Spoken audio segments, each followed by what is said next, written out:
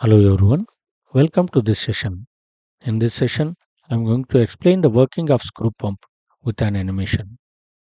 The screw pump consists of two rotors having the screw threads on it which are intermeshing with each other. One of the rotor is connected to the motor to run it. Another rotor is run by the first rotor. During its rotation forms the seals between the screw threads and those are called as a fluid chambers. And that will creates the positive displacement capability of this pump and also creates the suction at the inlet. And thereby fluid will be en- enters between the screw threads through the inlet line and that is carried around during its operation and that will be pressurized when it messes in the delivery line at the outlet line and discharges.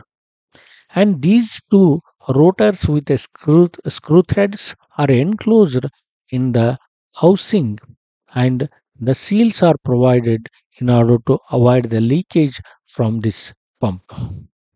And also we'll see the its animation how the screw pump works. In screw pumps it is intermeshing of the threads on the rotors and closure plates of the surrounding housing that creates almost set of moving seals in a series between the pump inlet and outlet.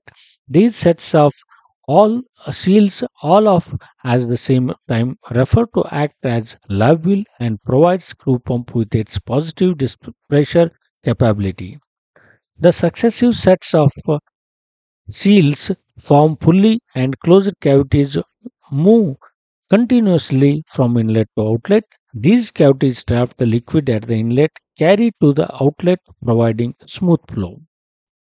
Thanks for watching. If you like, share, subscribe, and comment.